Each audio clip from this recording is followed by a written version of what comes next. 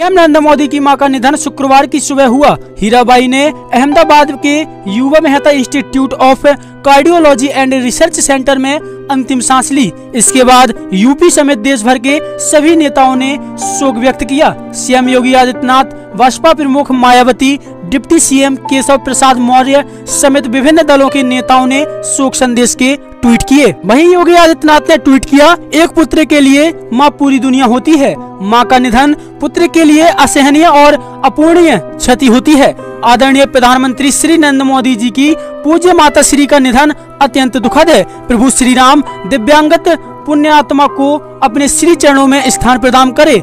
ओम शांति ओम शांति ओम शांति। वहीं भाजपा प्रमुख मायावती ने लिखा कि प्रधानमंत्री श्री नरेंद्र मोदी जी की माता श्री हीराबाई बहन की निधन हो जाने की खबर अति दुखद है।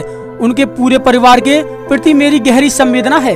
कुदरत उन्हें एवं उनके सभी चाहने वालों को इस दुख को सहन करने की शक्ति प्रदान करे। वहीं केशव प्रसाद मौर्य जी ने ट्वीट किया कि मानवीय प्रधानमंत्री आदरणीय श्री नरेंद्र मोदी जी की पूज्य माता श्री हीरा बहन जी का निधन अत्यंत दुखद प्रभु श्री राम से प्रार्थना करता हूँ कि पुण्य आत्मा को अपने श्री चरणों में स्थान दे शोक की इस घड़ी में मानवीय प्रधानमंत्री जी, परिजनों शुभ चिंतकों व समर्थकों को संभल प्रदान करे। दरअसल आपको बता दें कि प्रधानमंत्री श्री नरेंद्र मोदी जी की माँ हीराबेन मोदी का शुक्रवार सुबह निधन हो गया है। वे सौ साल की थी। हीरा हीराबेन ने अहमदाबाद के UN Mehta institute of cardiology and research centre में तड़के तीन बजकर तीस मिनट पर अंतिम सांस ली। Bureau report Dharm news.